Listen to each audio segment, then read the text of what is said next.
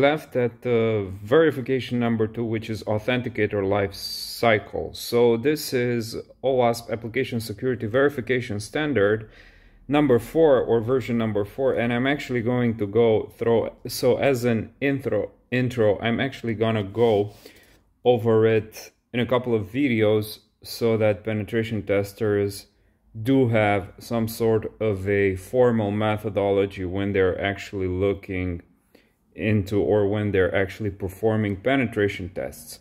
So that being said, let me full screen here on my tablet. And I'm what I want to say is that I'm actually going to fast forward through some of these sections such as the uh, authenticator life cycle which may not be as important as others. So I'm gonna flash forward through some of those that I do not consider are really important. So let's actually see before, let's give authenticator lifecycle the benefit of the doubt when it comes to importance. Authenticators are passwords, soft tokens, hardware tokens, and biometric devices. The lifecycle of authenticators is critical to the security of an application. Let's see. So if anyone can self-register an account with no evidence of identity, there can be little trust in the identity assertion.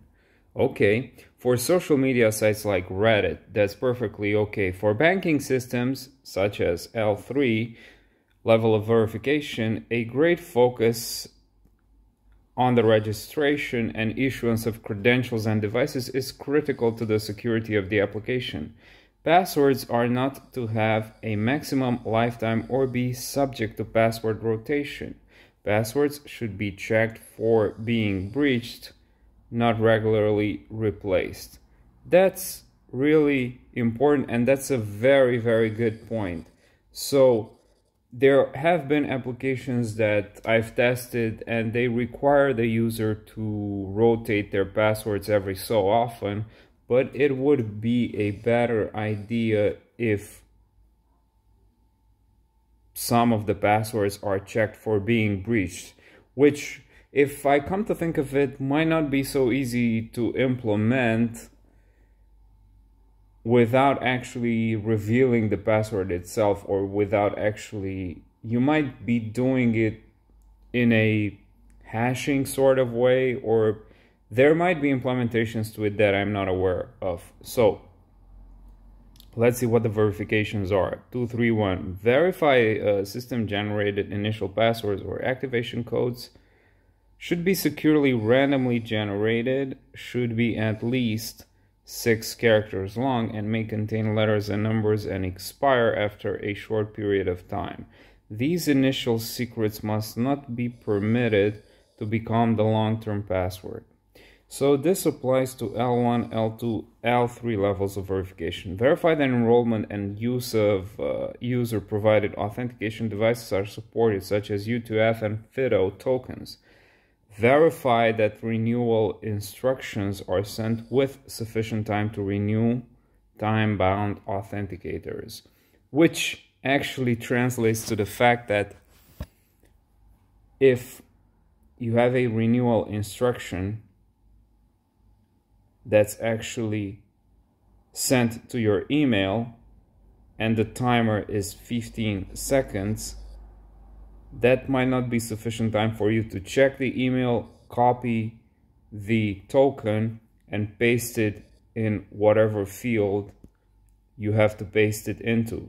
So this this should be done logically. And it might not be obvious for a penetration tester when you're actually testing situations like this one, but this could be not necessarily a security issue, but a good practice when building an application from a security standpoint. Now let's talk about something more interesting and more important, credential storage. Architects and developers should adhere to this section when building or refactoring code. This section can only be fully verified using source code review or through secure unit or integration tests. Penetration testing cannot identify any of these issues. So, this actually means that to be able to appropriately verify credential storage, you not only have to have access to the source code, but let's say, for example, that you're testing a mobile application, and this is often the situation. When you're verifying credential storage, there are situations and there have been poor practices when I've seen credentials being stored not only unsecurely, not only stored on the device, but they were stored unsecurely on the device. So if you are doing a penetration test, they say that penetration tests cannot identify any of these issues. Well, it depends on what you're defining as being a penetration test. Because, for example, if you're someone like me in a penetration test, if I'm testing a mobile application, I'm also going to look into the source code and I'm also going to look into what's in, what's stored on the device. I'm not only going to test the application from a dynamic networking perspective, but I'm also going to do static code analysis and I'm also going to do storage analysis and device analysis. The list of approved one-way key derivation functions, blah, blah, blah this section cannot be penetration tested, so controls are not marked as L1. Okay, so allow me to disagree. However, this section is of vital importance to the security of credentials if they are stolen. So if forking the ASVS for an architecture or code guideline or source code review checklist, please place these controls back to L1 in your private session. Okay, so it is what it is. Verify that passwords are stored in a form that is resistant to offline attacks. Passwords shall, sh, shall be salted and hashed using an approved one-way, so notice the pun intended. Using an approved one-way key derivation or password hashing function. Key derivation and password hashing functions Take a password, a salt, and a cost factor as input when generating a password hash. So salting is really important, not only in your diet, but also when it comes to appropriate storing of passwords offline. Verify that the salt is at least contains iodine is at least 32 bits in length and be chosen arbitrarily to minimize salt value collision among stored hashes. For each credential, a unique salt value and the resulting hash shall be stored. So again, L1 is not, let me actually do it in another color. L1 is not actually being check mark here this is really important when it comes to L2 and L3 applications.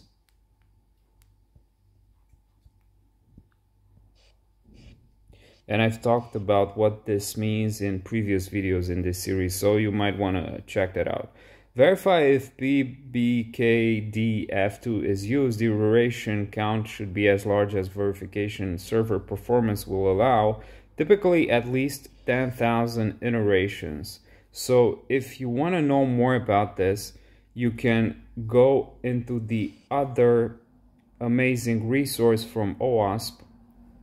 So if you want to learn more about uh, PBKDF2, you might want to look into the mobile security testing guide by OWASP, which is available on their website. Alright, verify that if bcrypt is used, the factor the work factor should be as large as verification server performance will allow with a minimum of 10. So this is really important when it comes to password storage. Verify that additional iteration of a key derivation function. Now, you're actually going to do this when it has to do with so you're actually be able to do this in the source code review cannot do this. You cannot know that when you're actually testing. When you're actually black box test black box testing an application, which is why I highly recommend you learn coding if you want to do source code review because people who do source code review in penetration testing are highly sought after.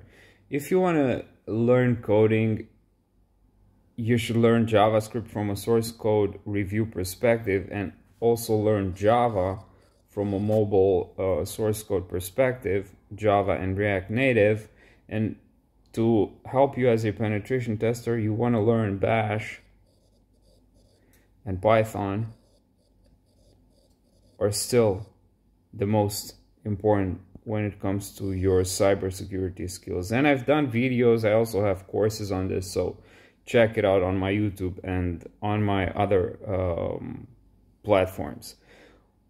All right, credential recovery. Verify that a system-generated initial activation or recovery set is not sent in clear text to the user. Really important for all types of verifications L1, L2, L3. Verify password hints or knowledge-based authentication are not present. Secret questions are not present. So when you're actually recovering credentials, make sure that secret questions are not present. So for example, you do not have to this would uh, apply in a situation where you go to the recovery, let's say you go to forward slash recovery,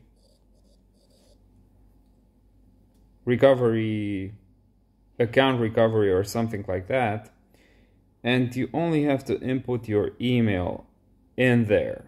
And what this the application should normally do and I'm seeing this in most of the penetration tests, in many of the penetration tests that I'm doing.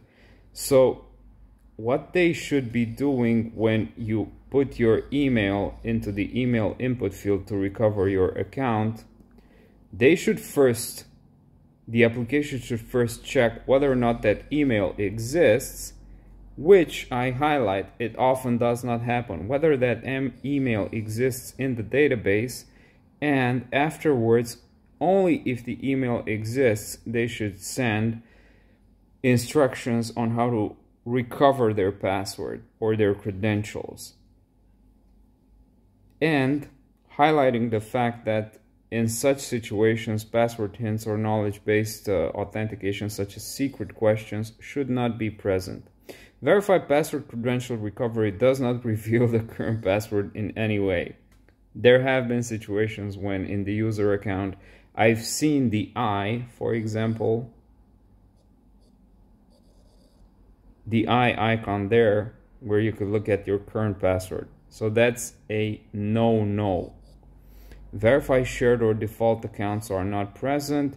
Verify that if an authentication factor is changed or replaced that the user is notified of this event. Alright, verify forgotten password and other recovery paths.